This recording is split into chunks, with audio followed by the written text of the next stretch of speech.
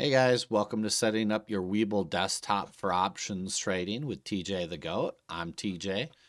First things first, when you pull up your Webull desktop, a lot of you will probably see a lot of all of this and wonder what you're looking at if you're new to trading. Um, we have some time and sales, some order books, your trade book, and all the positions and orders that you have. It can be a little bit much, but we're going to condense all this down so it's easy to read, easy to do, and easy to grab your orders quickly with a stop loss and take profit order already in place before you begin. So starting off, we're going to go down here to settings, hit the trade button, and come down here to the default options order button and make sure this is set for a limit order, one, time in force for the day, and make sure the stop loss and take profit are checked. You can set these automatically for your 10%, 20%, and this is your 2 to 1 risk reward and the automatic orders. Once you're done with that, we're going to go right back to stocks and go to whichever watch list you prefer and condense anything you don't need. Like I don't need this order book because I don't have level 2 data subscribed right now. So we'll remove that. We'll remove NOII. I don't use it. Time and sales, remove it. Volume analysis, remove it. All of this I just minimize or remove.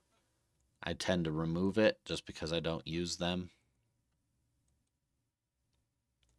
And we'll come all the way down to quotes. And I do prefer to use quotes because it does help me see things a little better.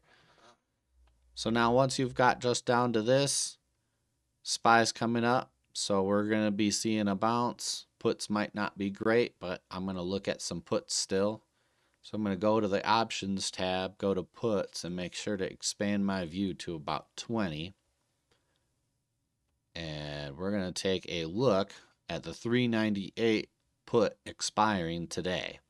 Now I'm going to add this to the watch list that I currently have here, and you'll see it enters right here.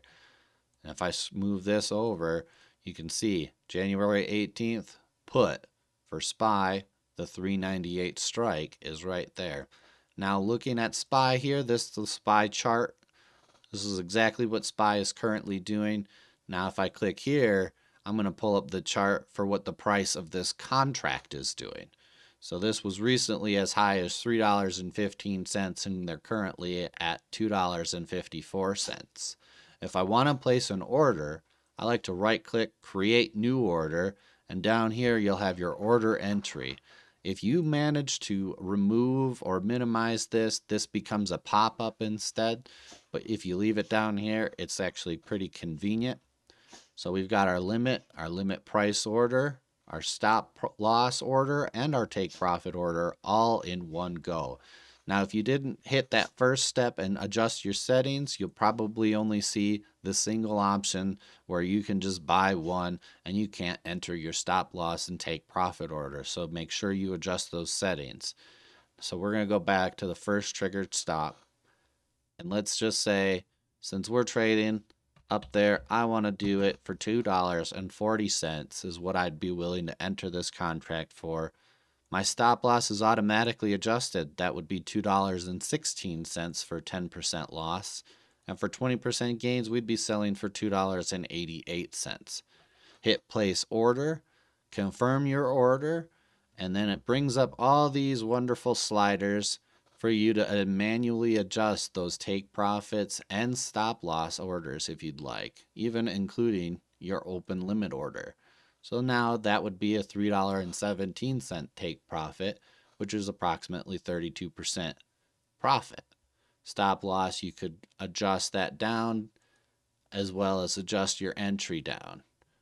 And now I could enter at $1.90 and this will do all the math for you if you're not a math whiz all right, now we can see $1.71 would be 10% stop loss if we entered this contract at $1.90.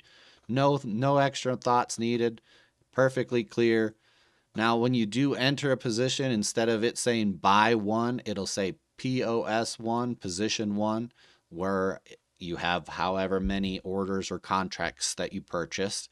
And from there, you can also do a slide on these take profits and stop losses. But the position order will be set in stone based on your purchase price.